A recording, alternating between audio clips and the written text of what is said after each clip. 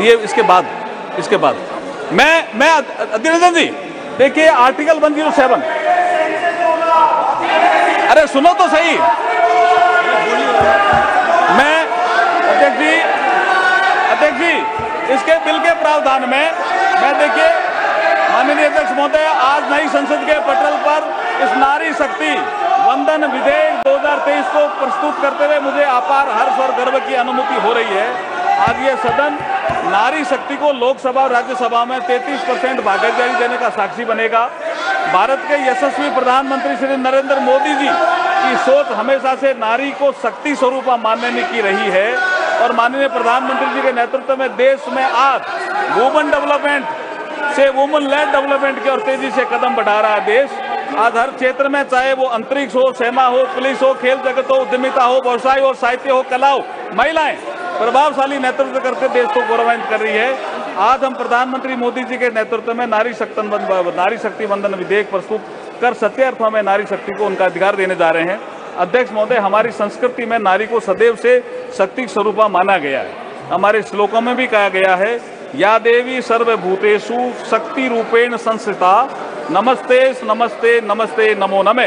अध्यक्ष महोदय, मैं इस अवसर पर भारत के संविधान निर्माता बाबा साहब भीमराव अंबेडकर का एक कोट आपके समक्ष प्रस्तुत करना चाहता हूँ कोट अनकोट बाबा साहब को किसी ने पूछा कि आप किसी समाज के उत्थान की प्रगति कैसे नापते हो? व्हाट इज़ द पैरामीटर कि ये समाज या देश, ये राष्ट्र उन्नति कर रहा है। तो बाबा साहब ने कोट कहा था उसको मैं कोट अनकोट कह रहा हूँ। उन्होंने कहा I measure the progress of a community by the degree of progress which women have achieved.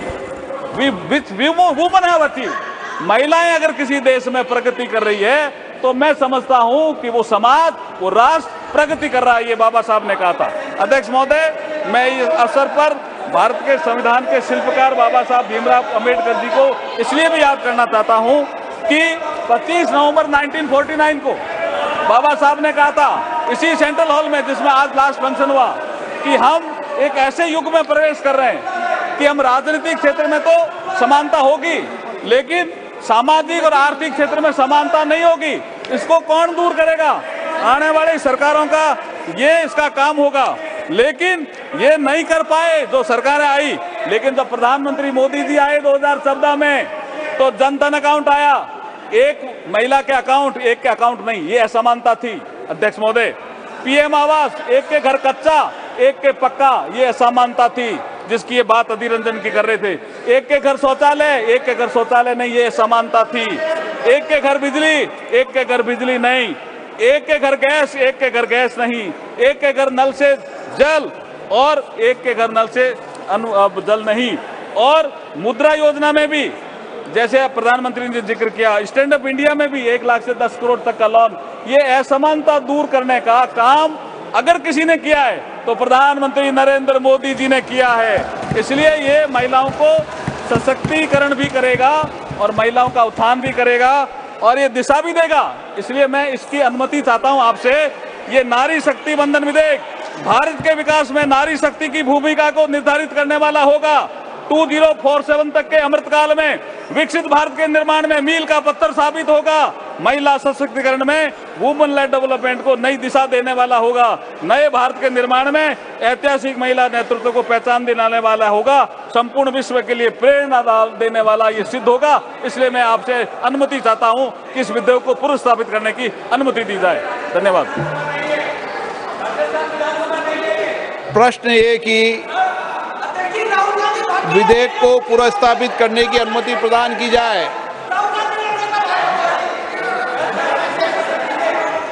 प्रश्न है कि विधेयक को पुनर्स्थापित करने की अनुमति प्रदान की जाए। जो सदस्य इसके पक्ष में हाँ गए हैं जो सदस्य विरोध में ना गए हैं मेरे विचार में निर्णय हाँ वालों के पक्ष हुआ हाँ वालों के पक्ष हुआ माननीय मंत्री जी अब विधेयक को प्रस्तावित करें। I introduce the bill Honorable Speaker, sir.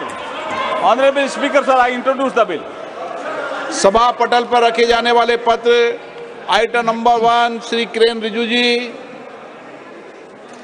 महोदय जी आपकी अनुमति से मैं लोकसभा में आज के कार्यसूची में मेरे नाम के समुख उल्लेखित पृथ्वी विज्ञान मंत्रालय से संबंध प्रपत्र सदन के पटल पर रखता हूँ।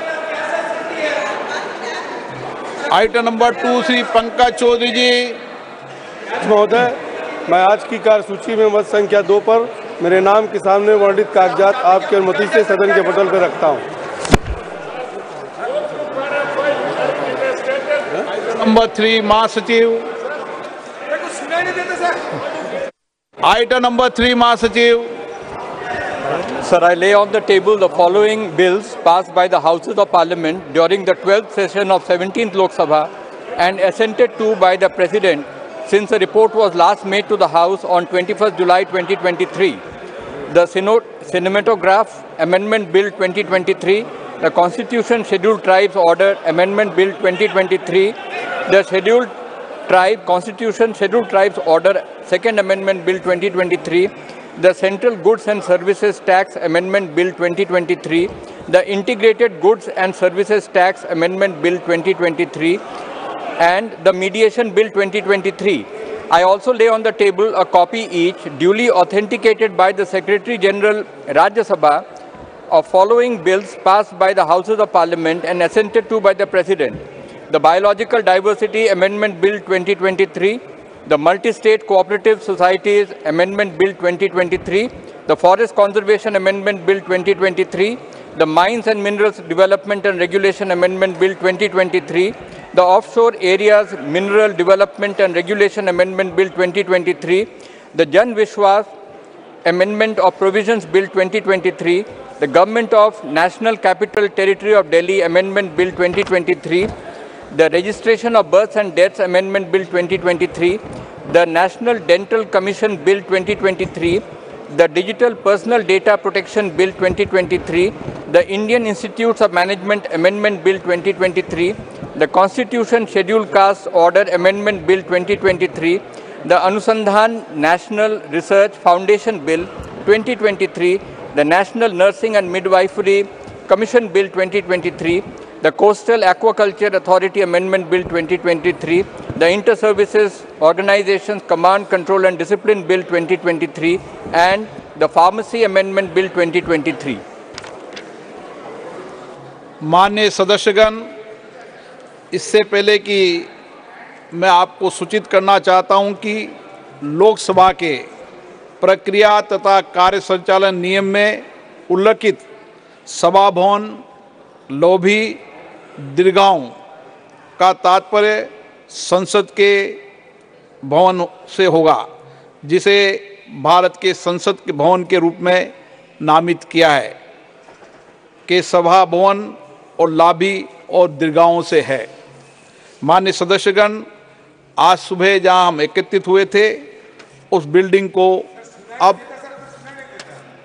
आज सुबह जहाँ एकत्रित हुए थे, उस बिल्डिंग को अब संविधान सदन के नाम से जाना जाएगा।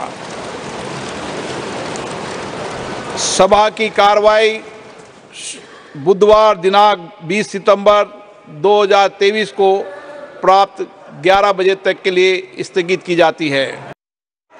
प्रश्न है कि विधेयक को पुनर्स्थापित करने की अनुमति प्रदान की जाए। जो सदस्य इसके पक्ष में हाँ गए जो सदस्य विरोध में ना गए मेरे विचार में निर्णय हाँ वालों के पक्ष हुआ हाँ वालों के पक्ष हुआ। माननीय मंत्री जी, अब विधेयक को प्रस्तावित करें। I introduce the bill honourable speaker sir honourable speaker sir I introduce the bill